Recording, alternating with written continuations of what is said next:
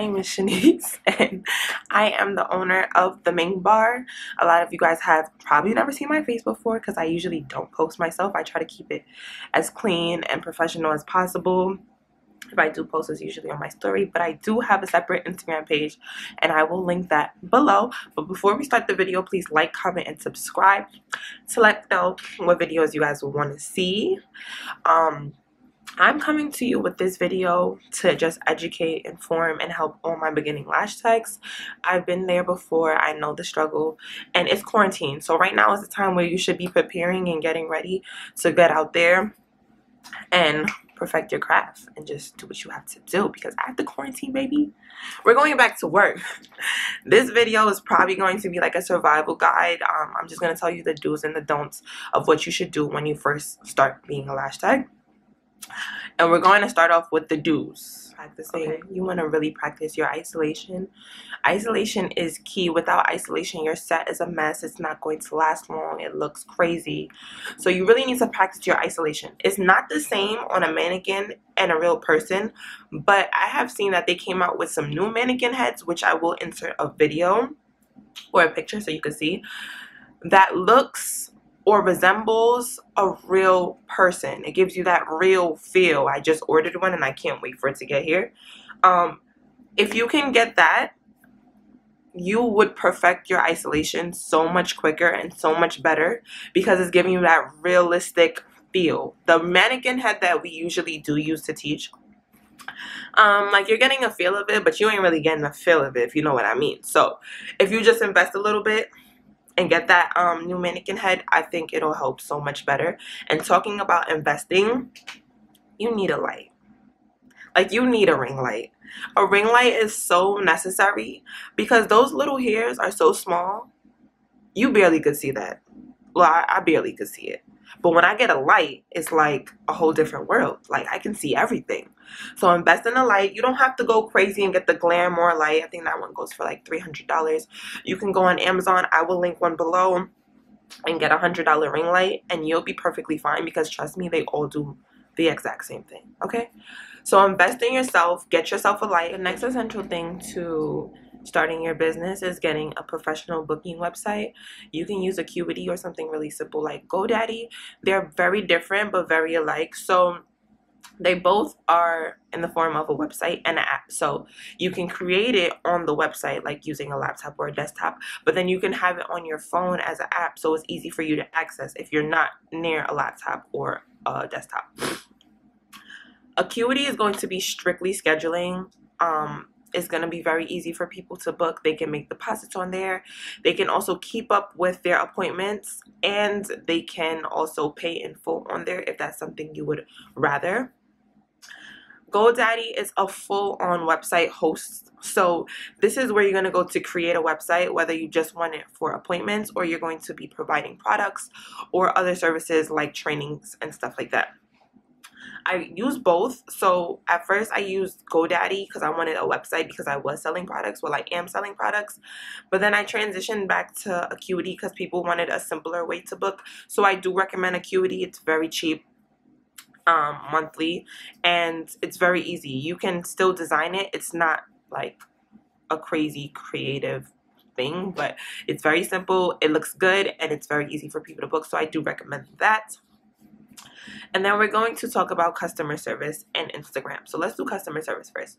Customer service is what's going to make or break your business. So let's say you do great work, but you have terrible customer service. You're very rude. You're not easy to approach. Like your energy is kind of like on the rougher side nobody's going to want to come to you because no matter how good your work is, if I do not feel comfortable with you for the two hours that I'm getting a service done, I'm not coming back. Why should I be uneasy when I'm spending my money with you? You know what I mean? So you want to treat people how you would want to be treated when you are going to an appointment or getting a service done. You want to be nice. You want to be able um, to write people back all the time. No, you're not going to be able to write them back quick but write them back. Because sometimes um I do tend to not write people back. And it's not like I'm trying to come off rude I get distracted or I might be doing something else you know? So if you can you should be trying to write people back as much as you can whether it's email text messages calling them back DMing them back. You want to be nice and you want to be approachable. Customer service plays a very big role and it does a lot like a lot of people think, oh, well, my work is great, so people are going to come to me regardless. And that's really not it. Um, and I hear that a lot when I have clients because usually my conversations with my clients start off as a complaint from like them having a complaint about somebody else.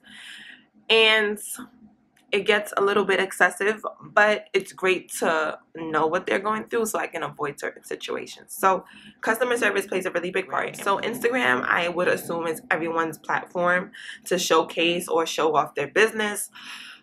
You want to make sure it looks as chic, as professional, as clean as possible. Um, image matters. Like, I don't want to go to your page and you have a thousand colors unless that is your theme. Like, if your theme is rainbow, then I get it. But if your page is all over the place, it's a turn off. Everybody clicks what is appealing to the eye. So your page should be appealing to the eye. You should have um, a color scheme. Your logo should match your color scheme of your Instagram. That way, it's so pretty. I just want to scroll through it. I just want to like everything. Like, oh, girl, you're in tune with your Instagram, okay? And the last thing that we're going to be talking about is all the don'ts that come with being a lash tech. And my number one don't is don't get into being a lash tech if you're going to be doing it just for the money. Like, obviously, money is a very big factor because we all do what we do because of the type of money that we are going to receive in the end. But if you don't have a passion for it, if this is not something you know you're going to grow to love and it's going to be strictly for the money, don't do it. Don't do it. You're not going to get far if you're doing it for the money or you just simply don't love what you do. It shows in your work. And we're dealing with people's eyes, okay? So don't come to fuck around. sorry to curse, but don't come to play. Like, these are people's eyes, and if you're not going to take precaution and do what you have to do as a lash tech, don't do it. Because if you don't love what you do, you're not going to do what you have to do. Loving what you do is a very big factor, especially with lashes. Um, because if you don't love what you do, as I said before, you're not going to take precaution. You're not going to educate yourself. And that's the number one thing you have to do. Even after taking a class with someone, you have to educate yourself on sterilization, and stuff like that. And talking about sterilization, don't not sterilize. Don't not make sure your tools are clean.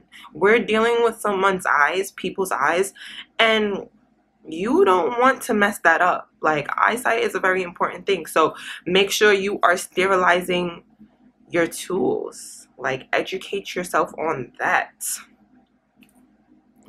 Don't be that lash tech that is known for not being clean wash your hands. And I like to make it known that I'm going to wash my hands or at least come back and you know. Like when I say make it known, I mean like when they come in, I'm like, oh, I'm gonna just go wash my hands and my tweezers and come right back.